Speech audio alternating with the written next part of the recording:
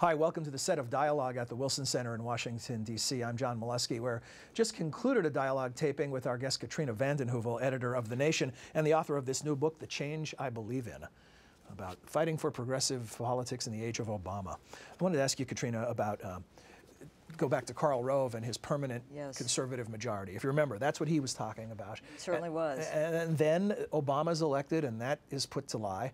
Uh, and then there's a lot of claims by progressives that it's the end of conservative politics. And I, would like you to hear your analysis on both of these because neither seem to be exactly No, true. I think that's right. I think there is a resurgence, so, of progressive energy and sympathy around core progressive values. We see it now with Occupy Wall Street, broadly defined, justice, fighting against inequality, support for a safety net which has been shredded. But I don't see many signs of Karl Rove's conservative majority. In fact, he's at war with some in his own party, and nor do I see real conservatism, true conservatism, as it's been defined over the course of U.S. or Enlightenment history. We have extremism in a Republican Party, which would have kicked out, I don't know, you know, think of John Lindsay, think of Nelson Rockefeller, two people from the state I come from.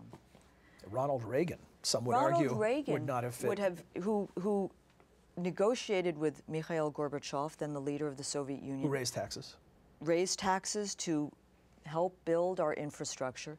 He might have been booted out of the party. And in fact, you know, people who worked with Reagan, uh, Shultz, George Shultz, or Jack Matlock, the former ambassador to Russia, look around at this party, James Baker, and wonder what has happened to it and what how do you does think it is at the core of this change? If, if people accept this depiction of the Republican Party, Yeah. why did it change in this direction? I think the anti-tax mania has gone to a level that we've, you know, it's 30, 40 years of that anti-tax march.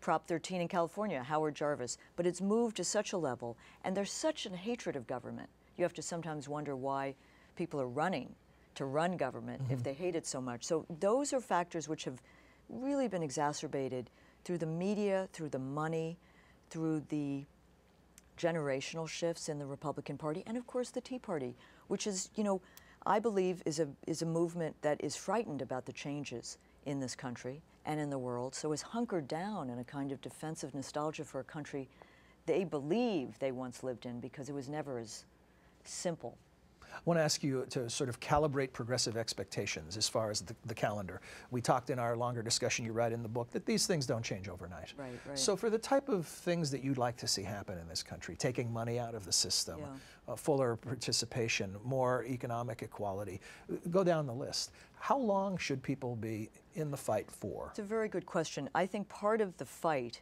especially if you're in movements, is the need for short term victories, but then long term patience, because these things don't happen overnight. But it would be very good to see, as we did in Ohio a week ago, a rejection of the governor's attempt to roll back workers' rights. Then you move on from there to expand workers' rights. The rejection in Maine of that Republican Tea Party governor's attempt to restrict voting rights.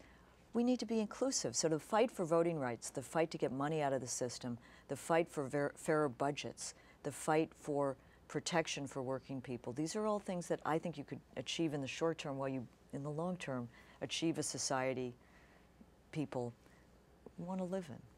Thank you for joining us today. Uh, if you're interested in either the book or hearing the longer discussion with Katrina, visit us on the web at wilsoncenter.org and you'll see a tab on the upper right hand side of the screen that says TV and radio. Click there and you'll find your way to uh, everything we talked about. Thanks.